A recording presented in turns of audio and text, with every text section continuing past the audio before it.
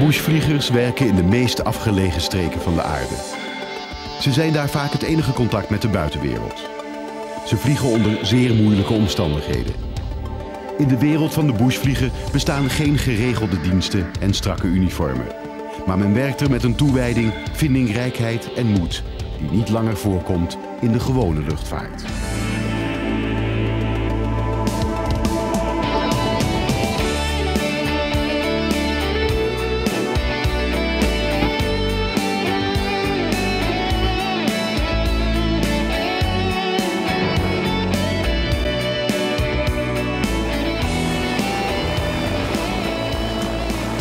Het vliegen in afgelegen streken eist een andere kijk op het vak.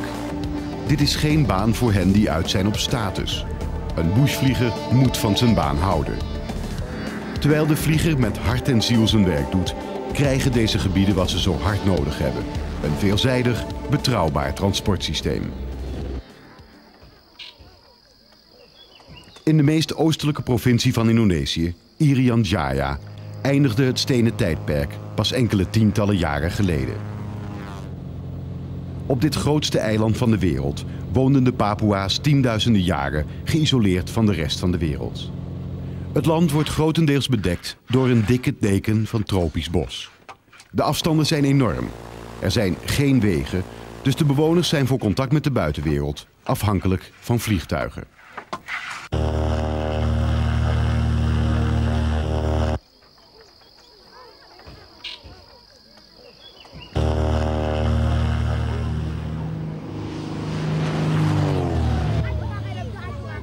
Ontzettend mooi om, om eh, door dit gebied heen te vliegen. Landschappelijk, ondanks dat het overwegend groen is, is gewoon de, de vorm van het terrein, de gebergtes, de, de eh, rivieren, de mangrovenwouden op, op, de, op het laagland.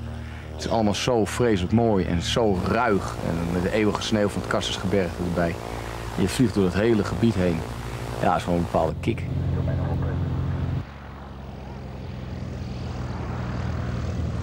Is hier geen enkel eh, andere vorm van transport dan, dan vliegen. Dus als je dit gebied, eh, wat zo ongeveer het meest primitieve eh, gebied van de wereld is, met eh, nog de meest primitieve bevolking, als je dat uiteindelijk tot ontwikkeling wilt brengen, dan zal er gevlogen moeten worden. Het is volkomen onbegaanbaar terrein. De missionarissen begonnen hier te vliegen in de jaren 20 en legden de meeste vliegvelden aan. Er is geen potlood, er is geen, geen stukje papier wat niet is opgevoerd. Juist door die opvoer ja, komt inderdaad de wereld binnen in deze zeer gesloten maatschappij, die, die ja, eh, eeuwenlang is gesloten geweest, en breekt daardoor open en langzamerhand komt daar dus een, een, een enorme invloed in, eh, die steeds meer merkbaar wordt. De missie bracht het christendom en de westerse beschaving onder de Papua's. Maar tegelijkertijd ook het grootste door bushvliegers onderhouden netwerk ter wereld. Hoewel de kaart van Irian nog altijd witte plekken vertoont, is hij bezaaid met vliegveldjes. En voor de Papua's zijn vliegtuigen er gewoon bij gaan horen. Er werd dus een Papua-familie in een auto gezet. Toen die auto wegreed, vroegen ze: Wanneer stijgen we op?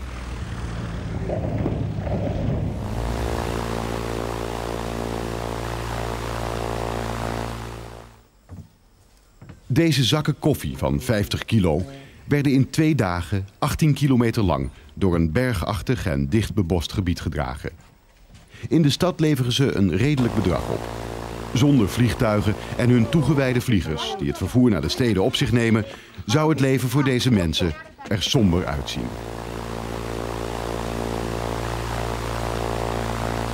Empat puluh empat kilo. Vliegen voor een luchtvaartmaatschappij verdient goed. Toch besloot Hans Dekkers drie jaar voor een kleine vergoeding te gaan vliegen in Irian. Het, eh, een gewoon een gevoel voor je men, medemens ook.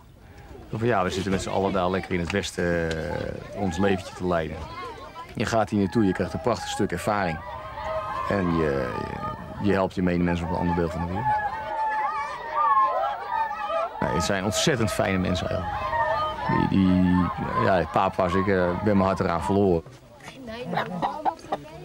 Vroeger vloog hij een F-16. Nu is de Cessna 185 zijn kist. Het is een eenvoudig, sterk vliegtuig.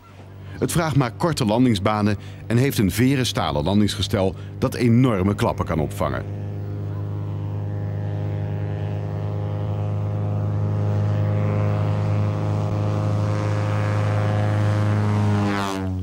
In Irian Jaya zijn praktisch geen navigatiebakens. Het weer kan plotseling veranderen. De piloot is moederziel alleen en zoekt op leven en dood zijn weg door dit ruige gebied.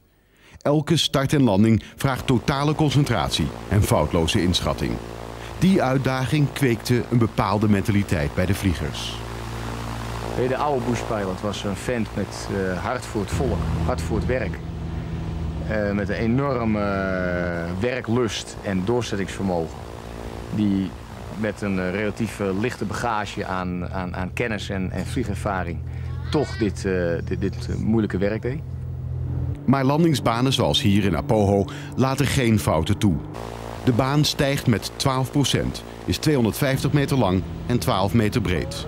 Hier een volgeladen vliegtuig landen met een spanwijdte van 11,5 meter vraagt niet alleen aanzienlijke vliegerskwaliteiten, maar een bijna onredelijke hoeveelheid geluk.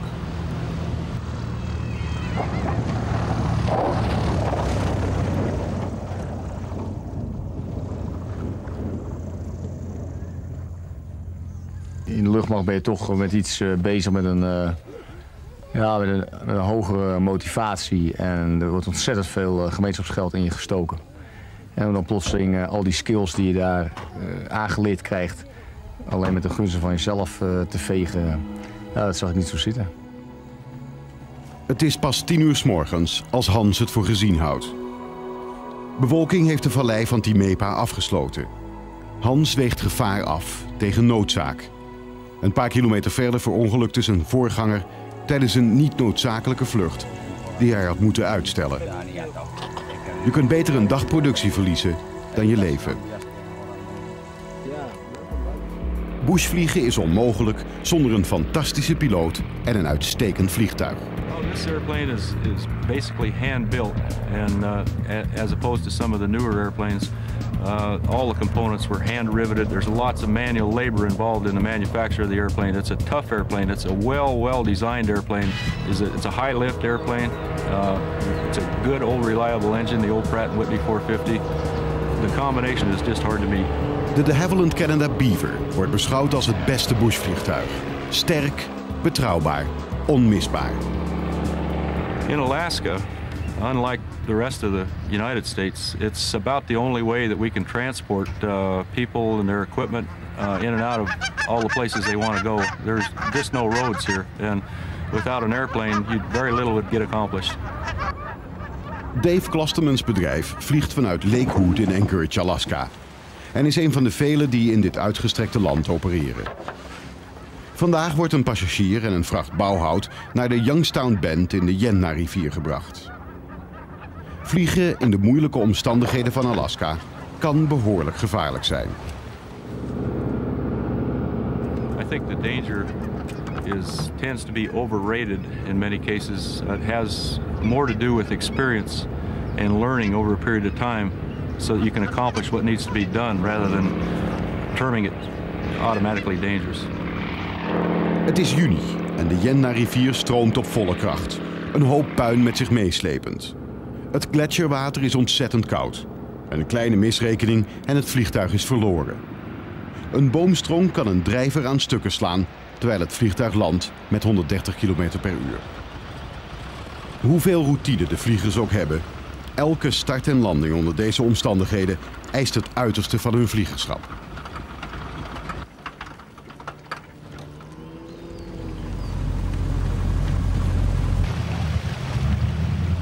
In de vier zomermaanden moeten de piloten hun verdiensten voor het hele jaar binnenhalen. De dagen zijn lang en het werk is veel eisend. Well, I've worked for a couple of different airlines in years past, but uh, this is the kind of work that I like. It's different every day, something new, and uh, you meet lots of interesting people and have a lot of interesting experiences, and it's what I prefer.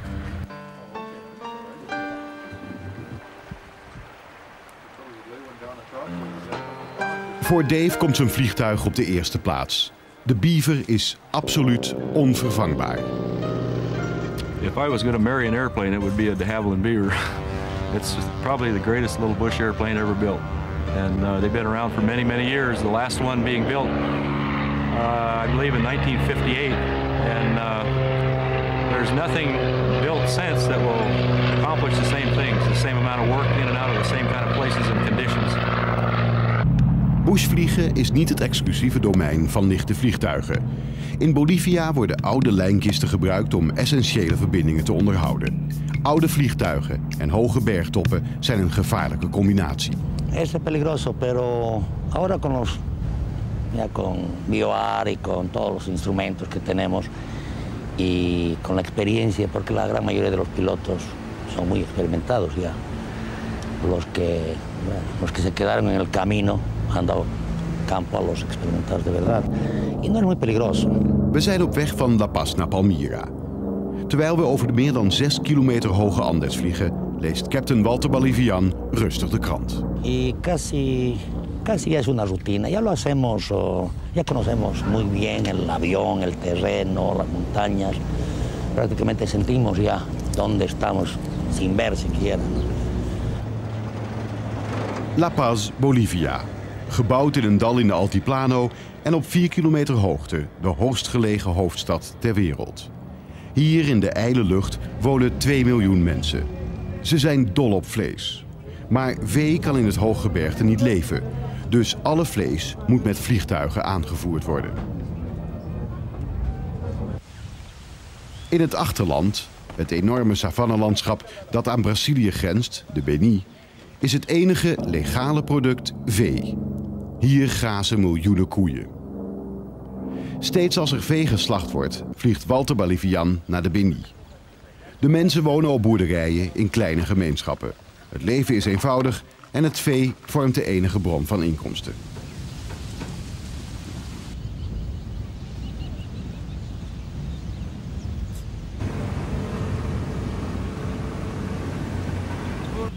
In Palmyra lopen 14.000 koeien verspreid over een groot gebied. Zoals de meeste veebedrijven hebben ze hier een eigen landingsbaan. Todas las pistas acá en el Beni son así, todas. Trinidad es la única paviment- paviment- pavimentada, pero ahora también está en reparación, o sea que ni esa siquiera. San Borja está bastante bien, está ripiada, pero todas son así, unas peores que otras.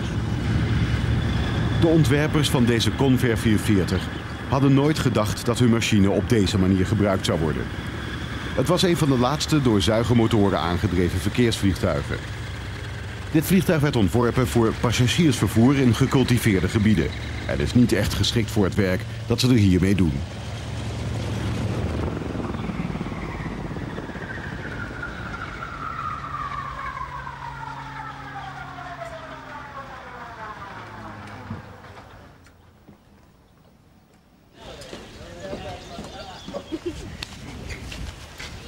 Estoy volando yo desde el año 55, 1955. Eh, todos los tipos de aviones prácticamente que hay acá en Bolivia, menos ah, los jets de Joy, ¿no? Pero después prácticamente he volado todos. Así que respondiendo a esa pregunta son 33 años, 35 años prácticamente que estoy volando. De Convair 440 uit 1957 overleeft deze omstandigheden, zei het ternauwernood. De passagiers zeker niet. Het vee wordt vanavond geslacht met grof, maar effectief gereedschap. Morgen kan La Paz op een lading vlees rekenen. In Bolivia zijn een aantal bedrijven gespecialiseerd in het vleesvervoer naar La Paz. De opbrengsten zijn klein, dus worden er alleen oude vliegtuigen gebruikt. Naar Boliviaanse normen is de Convair een nieuwe machine. Un principio sí, era muy, muy agradable, después de 35 años volando ya se hace un poco pesado. ¿no?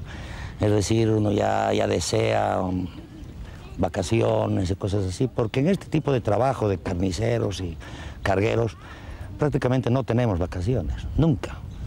O sea, esos 35 años los he pasado volando los 35, sin... pero ya hace un tiempo que ya uno nota que necesita vacaciones, un pequeño descanso, una cosa así. ¿Cómo está, caballero? Bien. De term bushvliegen stamt uit Canada. Bushvliegers speelden een belangrijke rol in de ontwikkeling van het woeste achterland in het noorden. Vrachtvliegers, zoals Air Manitoba, vervoeren alles en iedereen. zelfs poolberen en walvissen.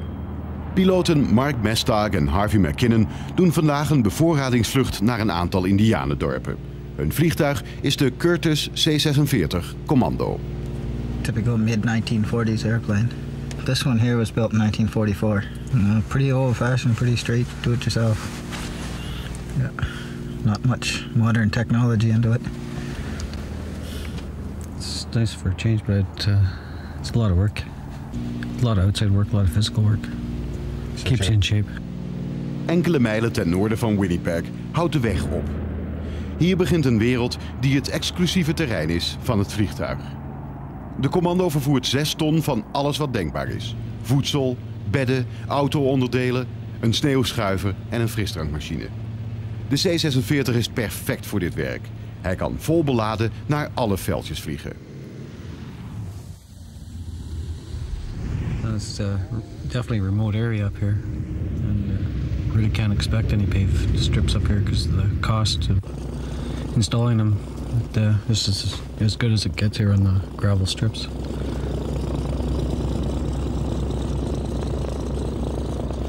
We bring in all their food and, and the supplies for these people to live. So if the airplane wasn't here, whether it's this airplane or another airplane, uh, these people couldn't live here. It's uh, that's that vital nowadays. Er kan zeer economisch gewerkt worden. Het vliegtuig is immers al vele malen afgeschreven.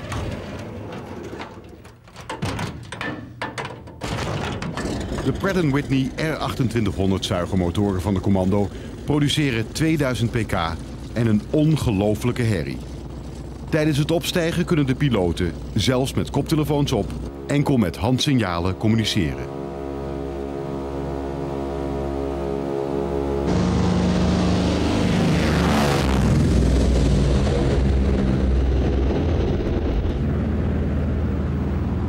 De C-46 is een zeer stabiel vliegtuig, maar hij is zwaar om te vliegen.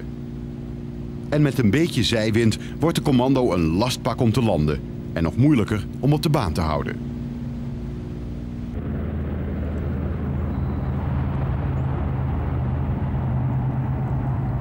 Voor Mark en Harvey, de bushvliegers, is het allemaal routine. Zij kunnen zich wel spannender dingen voorstellen. Oh, there's fun in it, yes. Certainly there's romance in it. I would love to keep flying them in a museum. but they're, they're a phasing out airplane. The, the days of the C-46 are dying. I'm a young man, so I have to look forward. Oh, I'd rather fly the 757, no doubt.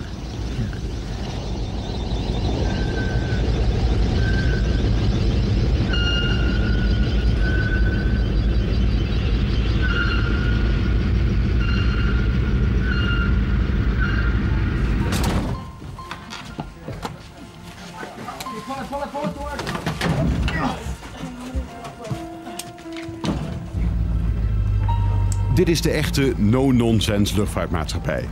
Het laden en lossen van het vliegtuig doen de piloten zelf. Als de zon ondergaat, vertrekken ze naar Pickle Lake om te overnachten. Morgen gaat de reis verder naar het noorden. Vluchten naar dat noorden duren zo'n 4 tot 5 uur. En de C-46 heeft geen automatische piloot.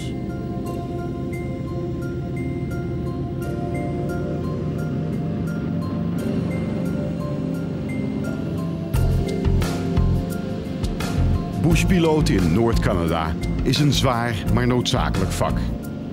De luchtvaart heeft het voor de moderne mens mogelijk gemaakt hier te wonen.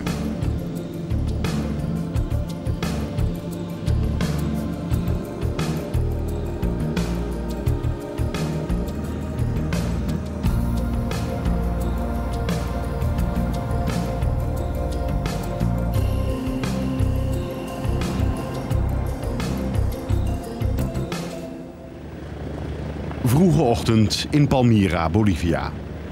Het is nu al 36 graden. De 18 cilinders van de R2800 motor hebben er geen zin in. De Convair 440 had vroeger een drukcabine en airconditioning. Maar om het laadvermogen zo groot mogelijk te maken, is alles wat niet noodzakelijk is eruit gesloopt. Zo kan er ook minder stuk gaan. Om het hoofd boven water te houden, moet er zo min mogelijk aan onderhoud worden uitgegeven. De 25 geslachte koeien zijn een paar minuten geleden aan boord gebracht. Men vertrekt onmiddellijk naar La Paz. Zonder koelsysteem zal het vlees snel bederven.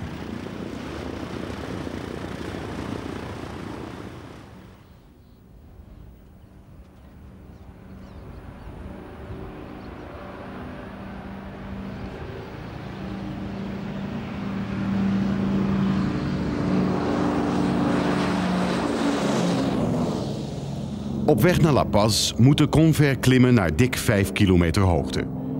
De vliegtijd is 90 minuten, geheel klimmend. Een zware klus voor de motoren. Bij goed weer is de bergpas naar La Paz eenvoudig te nemen. Maar het weer kan opeens veranderen, waardoor de kist tussen de hoge bergen verdwalen kan. De dalen zijn te smal om te keren. En terugkeren naar de Beni betekent verlies van een kostbare vracht. De beslissing of je bij slecht weer omkeert is dus heel moeilijk voor de piloten. De vleesvliegers naderen hun pensioen. De luchtmacht neemt veel van ze over met de C-130 Hercules. En de machines die de carniceros nodig hebben worden zeldzamer en moeilijker te krijgen. Over een paar jaar zal er ook een weg door de bergen zijn en zullen koelwagens het meeste vlees naar La Paz brengen. Dan kan Walter Balivian eindelijk op vakantie gaan.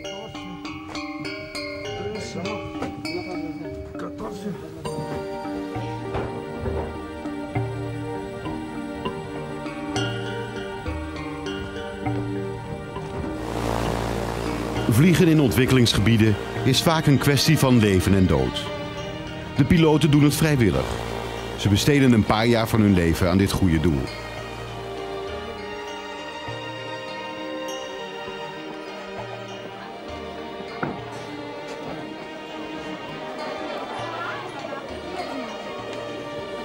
Toen Hans Dekkers in Irian Jaya kwam, werkten daar zeer gemotiveerde piloten voor de missie.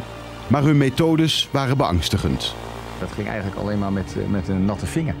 En het eh, was in hoge mate afhankelijk van uh, de, de skills die elke individuele vlieger bezat. Nou, dat, daarmee hou je ruimtes open voor, voor, voor errors. Dus je, je, je, houdt bepaalde traps open waar mensen uiteindelijk in kunnen trappen. Nou, en als je met diezelfde filosofie waarmee een, een luchtvaartmaatschappij dat soort manoeuvres, take-offs, landings en ook en route in, in gebergtes of zo benadert met als final objective vliegveiligheid. Dan blijkt plotseling dat je dat ook los kan laten op die Cessna's. Dan zeg je op een gegeven moment van hé, hey, nou, nou hoeft niet iedereen zelf weer het wiel uit te vinden. Het wiel is uitgevonden en testgevlogen. En als je het op deze manier doet, dan is er niks aan de hand. Er ging heel veel mis. Je kon geruststellen dat elke piloot die hier drie jaar gestationeerd werd, een keer een ongeluk kreeg. Vaak met fatale gevolgen. De veiligheid moest verbeterd worden. Niet alleen in de lucht, maar ook op de grond. Okay, uh, Apple, uh, next item. I've been there again this morning and it's, uh, it's still horrible. You know, and I think it can be improved. I checked it, I just measured it, it was, it was only 11 meters. And it was even narrower than I thought. What I want to propose is that we, for instance, close it as of the 31st of December next year. So they've got a year's time to, to do a three months job of improving it and then call it a day. Uh, now, then we're still having a problem with people after a year from now having to get there, like Potters. I mean, there's a real old guy who has to walk, I mean, 20 miles to the jungle over there. I mean, he's old. Yeah, you know, really, I think you know, if, if we give him a year for a three months job, that's enough. You know, we work our ass off to improve the flight safety. That's the least thing they can do. De piloten willen hier graag blijven komen. Maar de inwoners van Apoho moeten eerst hun landingsbaan verbeteren. Ini terlalu uh, lebar kecil, ya. Kalau potong di sana, ya tanah-tanah taruh di sini, ya dan itu lebih bisa diperpanjang. Ya, sekarang uh, mungkin 300 meter, kalau perpanjang itu bisa 450 meter. Ya. Tanpa uang memang mereka tidak bisa kerja. Mereka minta dari mana uang, dari mana modal, supaya mereka bisa selesaikan. Uh, lapangan ada di sini untuk tolong orang Apowo, ya. bukan untuk amat. Untuk amat terserah tutup ya. buka terserah ya. kalau ada uang itu mungkin sampai dua bulan bisa selesai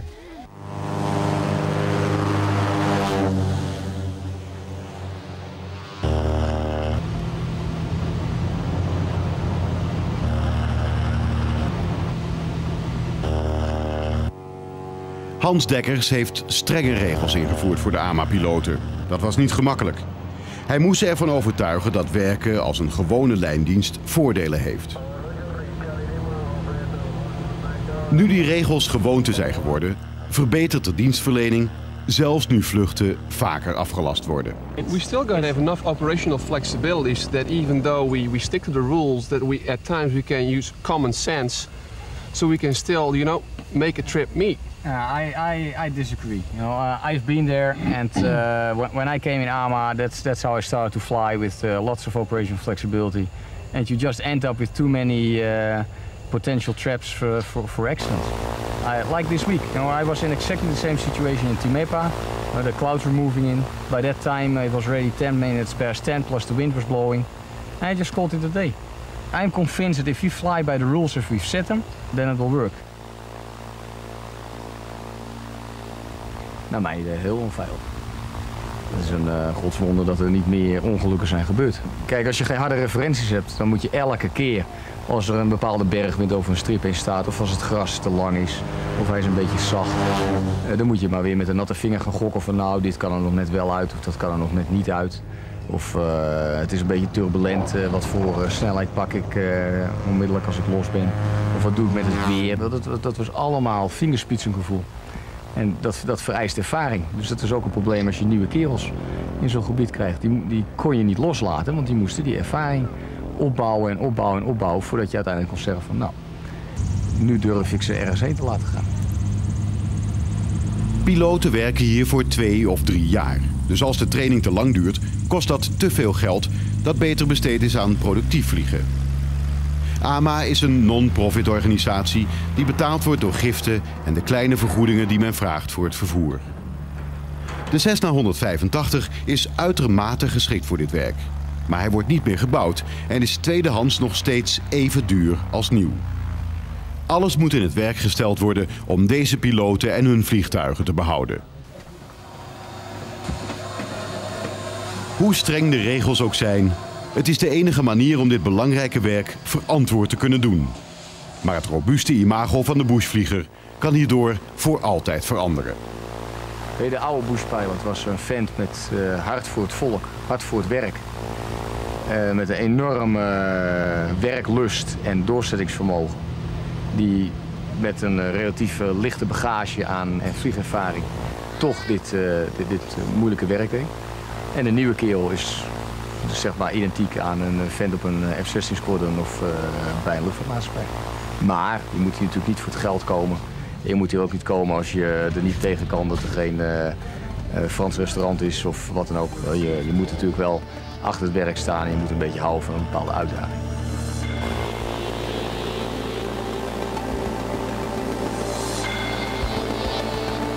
Laten we zeggen dat het, uh, het heldendom, als het ooit bestaan heeft, uh, er vanaf is gehaald. Dus de, de, de, de, de stoerdoederij is, is weg. Ja, nu moet je gewoon netjes je werk doen en dan kom je er wel. Maar desalniettemin blijft het gewoon bushvliegen. Want het, het gebied is uitermate uitdagend.